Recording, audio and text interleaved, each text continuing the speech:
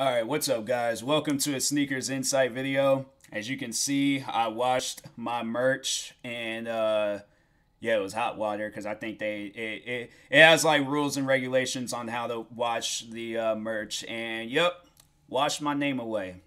So it no longer says at T Boss. I was gonna wear this out. I have even I think I wore it out in public while I was wearing the jacket over it so people couldn't even see what it looks like. I still got the hat. I still got the hat. But anyways, welcome to another Sneakers Insight video. In today's video, I feel like that this is a probably gonna probably be one of my dopest videos on this channel. But to review both of these shoes and to have like things to say about them and stuff. I mean, people have already done uh, this particular video before.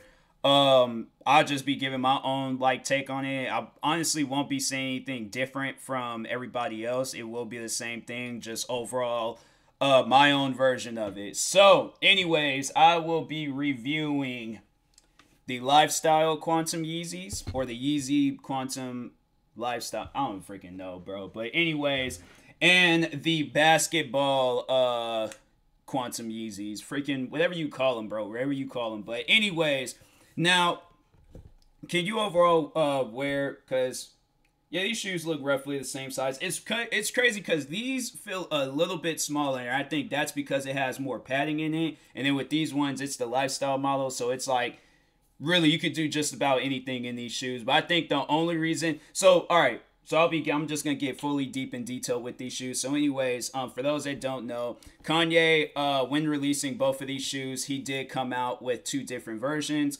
And one version I think had got banned from the NBA because it's just way too reflective, which is this version. Um, yeah, if you uh hold, if you take like a flash photo of this, you can even kind of see like right now you're seeing this part where it looks light, right? It looks like it's kind of dusty, but when me looking at it, it's it's dark. This is dark right now.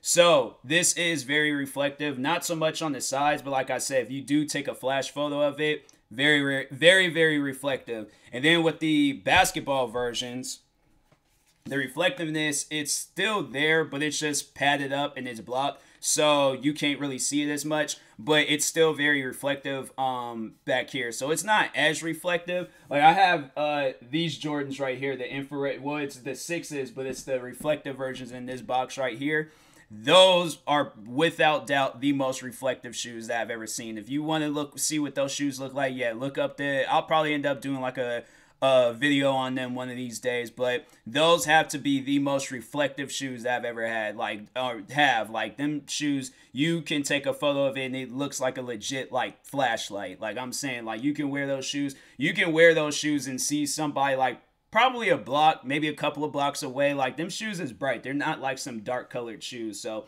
uh, with these, I don't really think that maybe if it's like a, a really extremely like car headlight was shining on the on these shoes, they will probably be noticeable. But other than that, like these shoes, I don't even know why the NBA will honestly trip about something like this. So that's why I like I think these shoes are kind of like another like Yeezy 350s. They're more so like a lifestyle shoe, but you if you want to play ball in them, like more so probably street ball, cause these shoes like the traction on it like see how like like long it takes my hand to like slide down and that's this is the basketball one but on the lifestyle ones let me yeah, it's like roughly the same. So that's the thing with both of these shoes.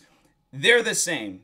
And I think when releasing these, I think the only thing that they did change was the uh like padding in the inside because if you feel like there is some padding in here, and these shoes are comfortable, so don't think for a second, oh, because it has less padding, that it's um, not as comfortable. I honestly think the only reason why they had released these Yeezys was because of the rules and regulations that the NBA threw at them. But other than that, like to what release like another like one more layer of padding. So this is like the basketball version of the Yeezy Quantums is like 1.5. You know, it's it's not like a two. It ain't like a completely different shoe when wearing them. And you would think like uh maybe they would have i think just overall like they the pattern is slightly different on the side because i mean it is this like hard rubber plastic on here then it's like the like mesh uh, like mesh like stitched material on here but other than that like it's just really just to protect the reflectiveness so there's not a whole major difference with these shoes this is just like this is like Midnight Club Dub Edition. This is Midnight Club Dub Edition remix. like, if I can explain this in the better, in the most best way I could, that is it. Okay, Dub Edition remix.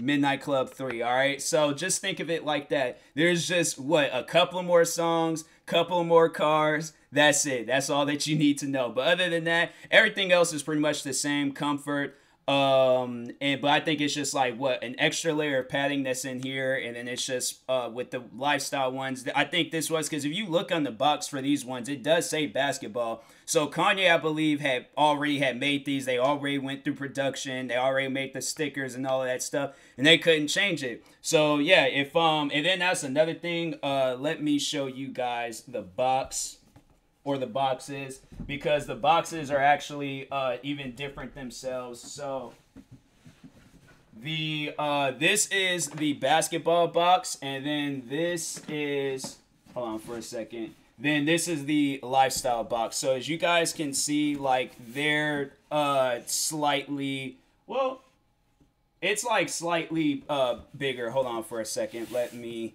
show y'all. So yeah, you guys can see like there is like a size difference with them, and that's why I think like with those ones, uh, the basketball ones, they that's why I said like they do feel a little bit tighter on feet rather than the lifestyle ones. It just feels a little bit more loose. So if you, I that was one thing I'm like I'm kind of glad I didn't do was go down half a size because uh they even though they do feel loose, like what if you probably put on like an extra layers of socks, you wouldn't even feel it. But um, other than that, like I, I honestly do um, I like them. I just like I, I mean there's just there's so many things I really can't say about these shoes. I did do review videos on them. Oh yeah, but it says Boost. It says Yeezy Basketball, Yeezy Quantum, nothing on this side, and then Yeezy Basketball made by Adidas, and then Yeezy Quantum made by Adidas, Adidas, and then just says basketball and excuse me, Quantum but like I said, like there's not really a big major difference with these shoes. It's honestly you can wear any of these shoes on the court. You can wear any of these shoes out on um, just like in a lifestyle version of it. But yeah, there isn't there isn't no real difference. So uh, yeah, um, if guys got any questions about these shoes, uh, feel free to comment below. Ask me anything that you want to ask me about any shoe. Actually, I don't really care, but yeah, um, I'll give you the best answer I possibly could. So in the meantime, I will talk to you guys later. Thank you guys for watching. Like, subscribe if you're new to the channel, and peace.